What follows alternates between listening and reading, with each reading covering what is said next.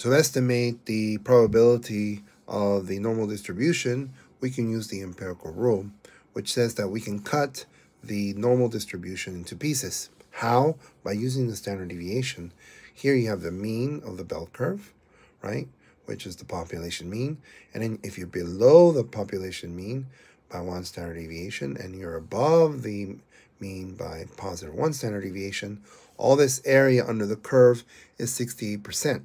From minus two standard deviations to positive two standard deviations, we get 95%.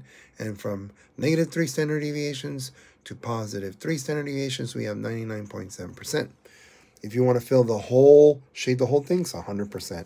You want to shade this piece right here from negative 1 to mu. Uh, negative 1 standard deviation to mu is 34%. And over here is 13.5% and 2.5%.